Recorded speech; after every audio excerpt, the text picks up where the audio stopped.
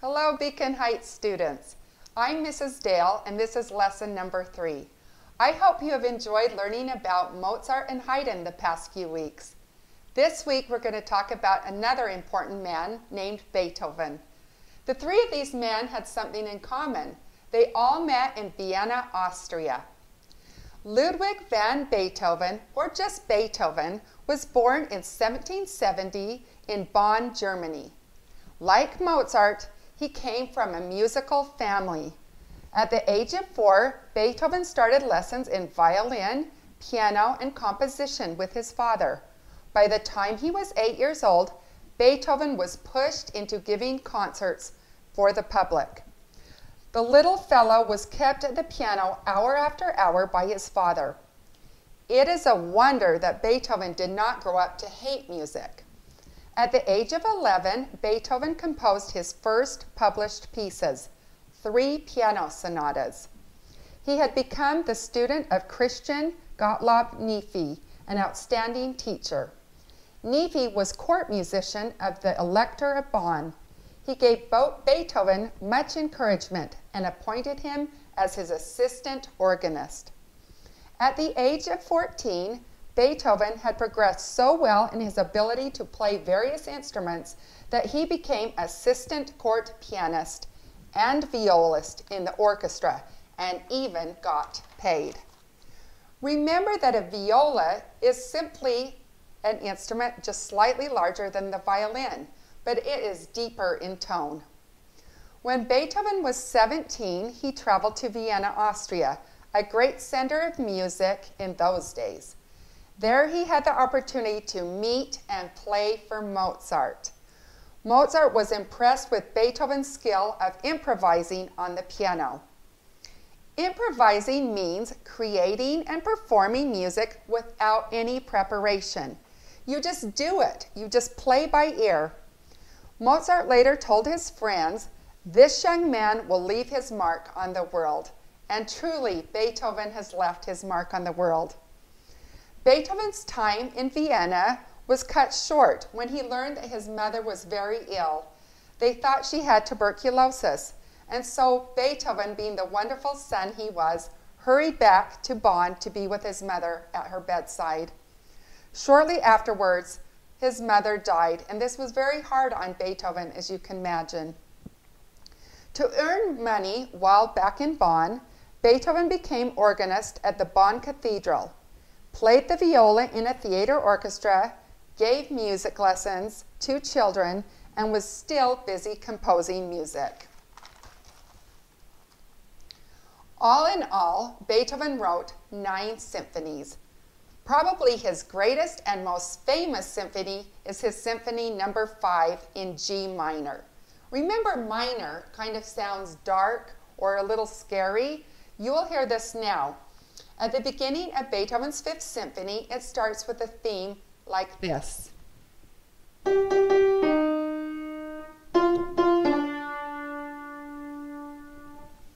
That probably sounds familiar to you. It looks like this in the music. It's written in 2 4 time, and this little symbol is an eighth note rest. And then we have three eighth notes with a half note. Some of you might notice there's something interesting over the half note. This is called a fermata. Say with me that word. It's an Italian word. Fermata. It means to hold the note longer. How long we hold is at the discretion of the performer and the conductor. So let's clap this rhythm. Rest. Eighth, eighth, eighth, half, note, hold, rest. Eighth, eighth, eighth, half, note, hold, that's how it goes. Very good. So I want to play that for you, and this is the main theme.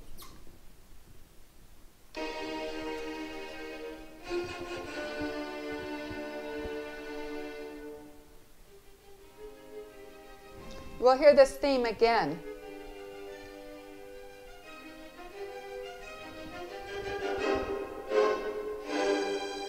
Here we go again. Hold. Yes. Let's keep listening for just one more minute.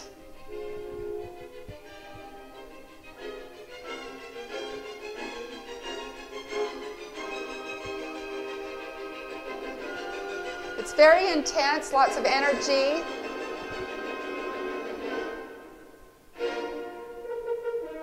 You can hear the brass section, the string section. It's calm for a minute. You can hear it. It's building.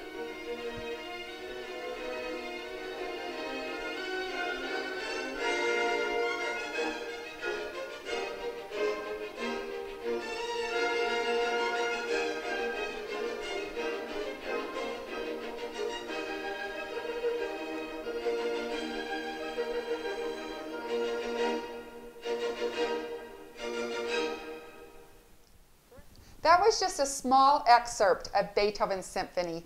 I hope all of you will take the time to listen to the full symphony number five. I wanted to tell you a little bit about what a symphony orchestra is. A symphony orchestra consists of families. Just like you belong to a family, there's a family in an orchestra, and it consists of five sections.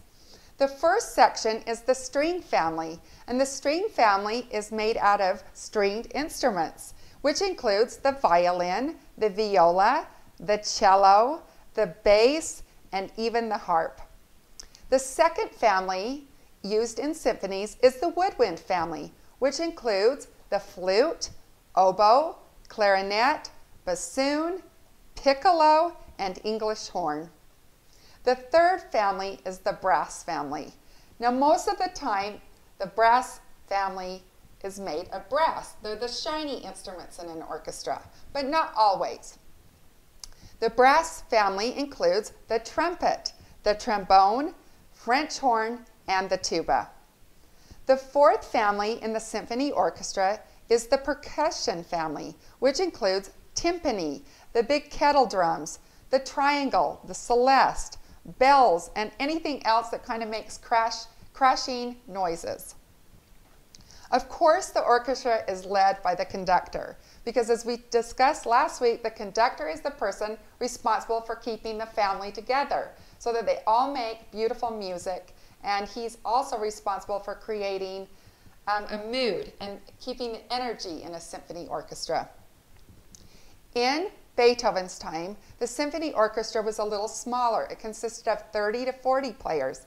Today, when you go to a concert, symphony orchestras around the world have over 100 players. So it's an amazing experience to be in the audience of a live concert. I hope we all get that opportunity soon. Now, besides Beethoven's Fifth Symphony, I want to talk to you about Symphony Number no. 9 in D minor.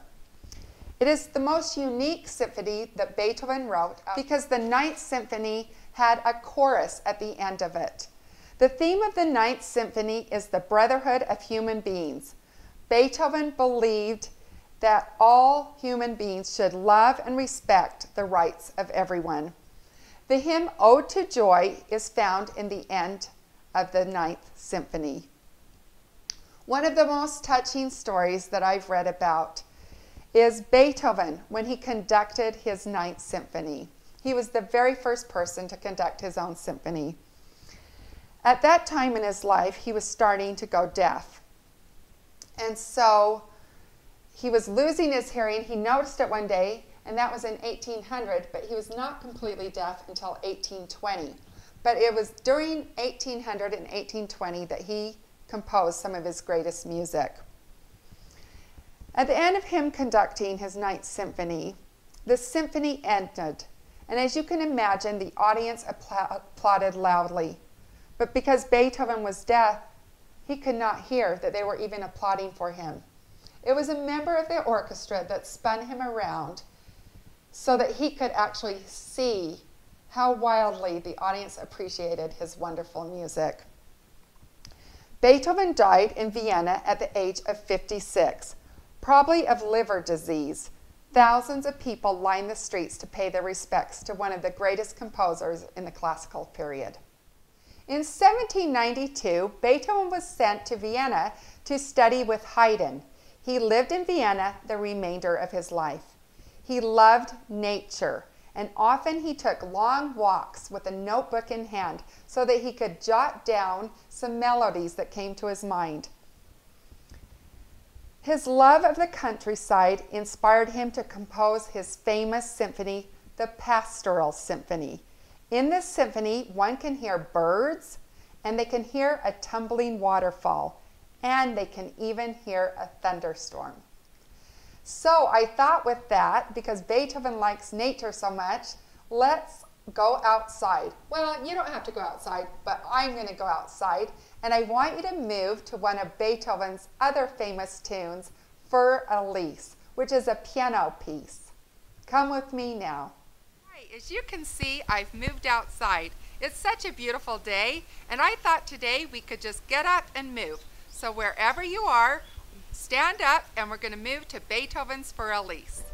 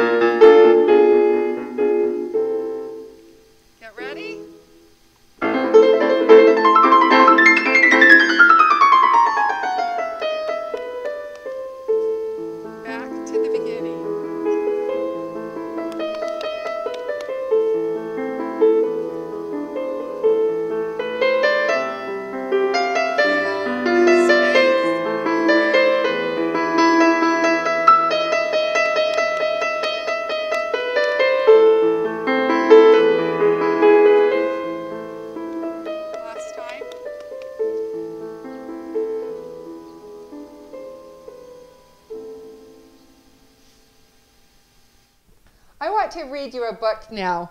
It's Beethoven from Famous Children, written by Ann Rachlin.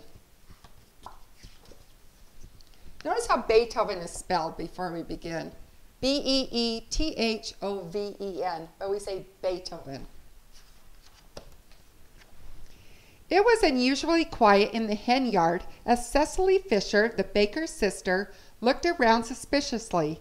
Then the hens began to squawk in fear. Quickly she strode across the yard and flung open the door of the hen house. Ludwig? Well, now I know who has been stealing my eggs. No, no, Miss Fisher, lied the little boy. Caspar threw my handkerchief in here and I came in to get it. Ludwig van Beethoven lived with his father and mother and his two brothers, Caspar and Nicola, in the baker's house at number 934 Rheingasse in Bonn, Germany. In 1774, he was a scruffy little four year old with untidy hair and dirty fingernails. Ludwig went to school with his brothers. He hated his lessons. He studied French, Italian, and Latin, but his marks were very poor. As for mathematics, poor Ludwig was so bad at multiplication that if he had to find the answer to 3 times 4, he would write down 4 three times and then add them all together. Caspar and Nicola were very good at school, but when it came to music, no one was as brilliant as Ludwig. Ludwig was so small when he began to play the clavier that he had to stand on a bench to reach the keys. He also learned the violin. His father, Johann, was a singer. He gave Ludwig his first lessons, but was very strict.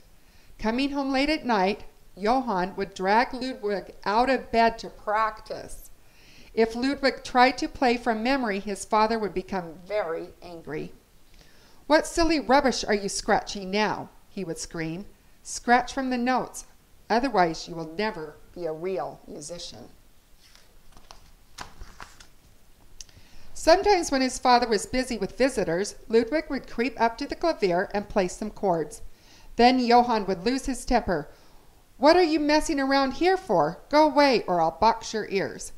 But even his bad tempered father had to admit that Ludwig was making excellent progress. Soon the little boy was learning how to play the viola and the organ. Already he was a much better musician than his father. When Ludwig was seven years old, his father decided that his son should give his first concert. He had heard how, some years earlier, Leopold Mozart had taken his brilliant little boy, Wolfgang, on a concert tour. Ludwig shall earn money too, he said. The concert took place on March 26, 1778. All the notices said that Ludwig was only six years old. Johann had lied about his son's age so that people would begin to believe Ludwig was as ever clever as Wolfgang Mozart. Johann was making a hole in an egg. Ludwig made a face as he watched his father suck out the raw egg and then eat two prunes. He's going to sing tonight, thought Ludwig, his father always ate a raw egg and prunes before he sang. It keeps my voice fresh, he told his young son. As Ludwig grew up, he realized that almost everyone he knew worked for the Archbishop of Cologne. Life at the Archbishop's palace was very grand, as the Archbishop was an important person. He was one of the few electors who chose a new emperor when the old one died. He loved good food, hunting, and music. The elector had his own orchestra. Ludwig's grandfather had been the elector's Kapellmeister, master of the chapel, the leader of the court musicians. It was Johann's dream that one day Ludwig might become a Kapellmeister also. When Ludwig was 10 years old, Christian Gottlob Neefe became the elector's new organist. This fine musician realized that Ludwig was a genius who needed a gentle, understanding teacher who would encourage him to compose. Mr. Neefe soon declared that young Ludwig was a young genius, a most promising talent. He will certainly become another Wolfgang Mozart if he continues as he has begun.